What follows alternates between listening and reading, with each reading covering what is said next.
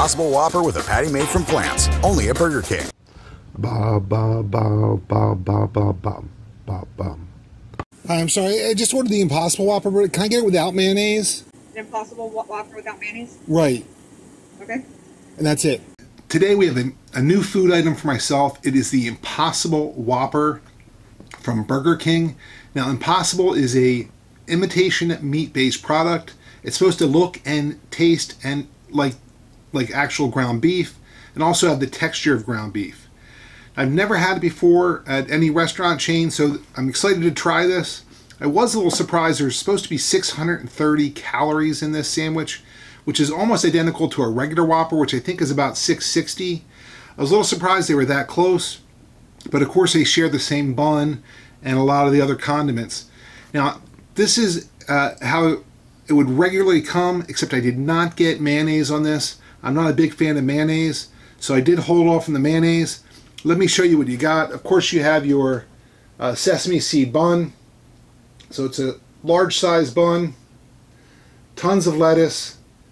You have your tomatoes, onion slices, pickles, ketchup, and then your Impossible uh, burger. It's a good sized sandwich. It's 9.6 ounces or it's uh, 269 grams and that is without some mayonnaise so it might be a couple more grams with it. Let me cut this get a side view of what it looks like before we dig in. Now normally this is, is priced at $5.89 which is a little bit pricey for um, a fast food hamburger if you ask me but it was on special today, so it was only uh, 350, I believe, for the sandwich. So let's give this a try. It definitely tastes remarkably like beef. It's very, very close.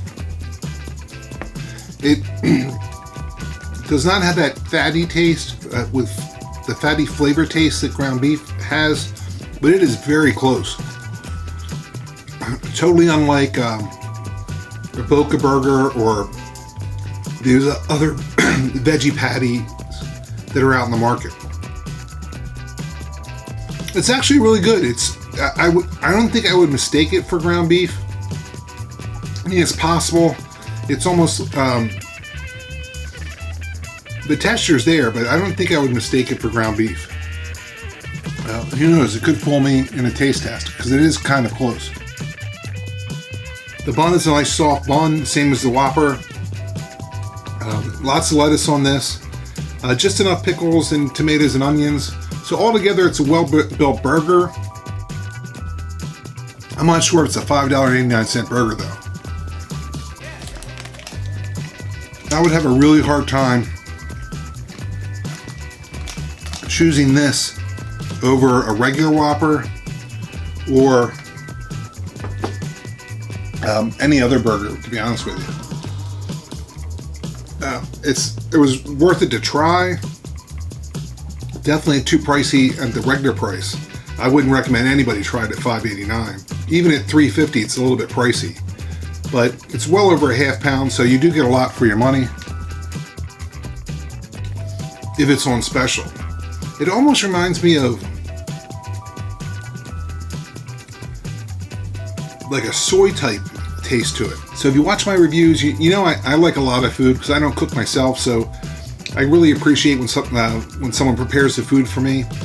It usually is okay to me, and this is an okay tasting hamburger, but it's I would not recommend this anywhere near the 5.89 price point. Even at the $3 price point, maybe if you want to give it a try, but there's just so many other options at Burger King or other stores to go instead of this uh, Impossible Burger.